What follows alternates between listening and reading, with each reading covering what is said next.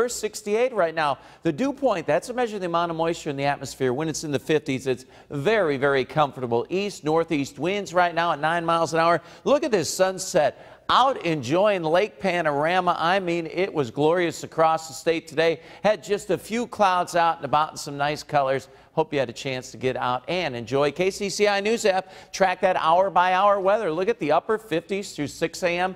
10 a.m. 66 degrees. Winds east to southeast tomorrow about 5 to 10 miles an hour. Noon 71, 4 p.m. temperature 76. Again, after sunset, it's going to cool off quickly. We're not really used to that yet, so if you're going to stay out a little later, maybe uh, around the campfire, it is going to cool on off. Satellite and radar crystal clear across the state out there. The only thing I see developing is a little patchy ground fog late tonight, maybe in some of the river valleys, so keep that in mind if you're an early commuter. It is very active in the Gulf of Mexico. I just looked at one of the Doppler radars. It looks to me like the, the winds are well over 80 miles an hour uh, as this Hurricane Hermine moves on shore. Also, along with the storm surge, the heavy rain, and the major winds there. You have the tornadoes. We've had a couple tornado warnings in these bands kind of spinning around with all this spin in the atmosphere and then a tornado watch across much of the state until tomorrow morning. So winds right now at 80, but I just looked at Doppler radar. As I mentioned, I think they're over 80 miles an hour.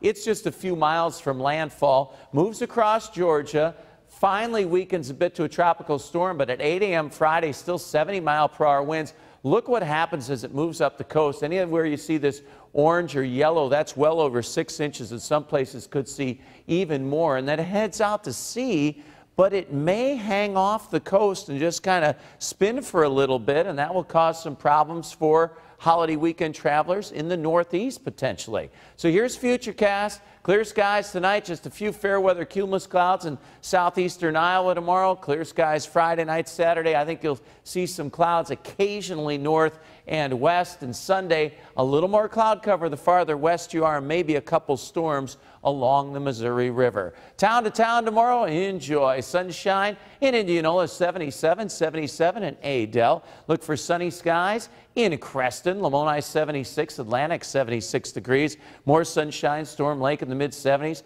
Jefferson 76, 75 in Eldora tomorrow, Webster City, what a day, mid 70s and sunshine. Newton, a great day ahead, 76. Corydon 76 degrees forecast for tonight 58 so cooling off again those nights will be a little cool but sunshine tomorrow up to 78 a little patchy fog southeast wind everybody looking towards the weekend Iowa City tailgate in the low 70s kickoff 77 mostly sunny game at 7 o'clock up in Ames tailgating mid 70s kickoff temperature 74 but by the fourth quarter probably dropping down into the cool 60s. Here's a detailed look at your eight-day forecast. Saturday 79, Sunday 82. A slight chance of a storm Sunday night, early Labor Day. 89 Labor Day with some humidity. And then it looks like it's going to get a little stormy next week, so enjoy this nice period of dry weather.